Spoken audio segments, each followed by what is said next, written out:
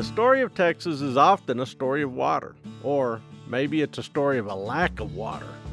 In Texas, we're talking about rivers. Texas is a big place with a lot of geographical diversity. Let's take a tour of its rivers, but let's start with the rivers that we share with other states. This map shows the journey. We're going to start with the rivers that form boundaries the Red River and Rio Grande. Then the rivers that are just passing through the Canadian and Pecos. The northern boundary of Texas between Texas and Oklahoma is the Red River. The Red River is a wide, shallow, and muddy river.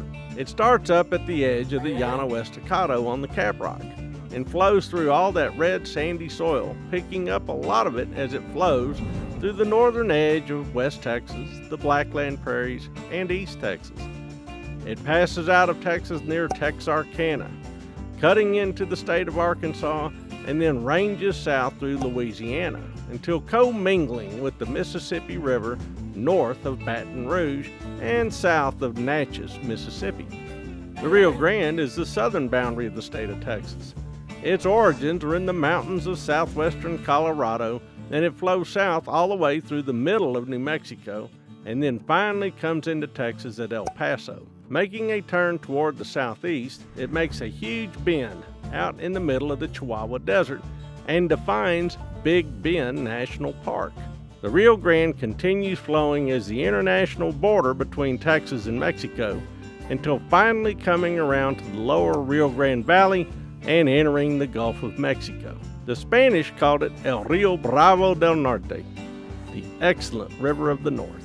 The Pecos River starts among the Rocky Mountains in the Sangre de Cristo range of northern New Mexico. It flows south along the plains of New Mexico before entering Texas. The farther south it goes, the deeper the canyon it cuts until it finally commingles with the Rio Grande south of the old, nearly extinct town of Langtry and helps form Lake Amistad.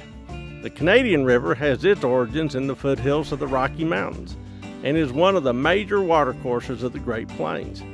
The Canadian passes through the Texas Panhandle and into Oklahoma, where it finally will join the Arkansas River in the eastern part of that state.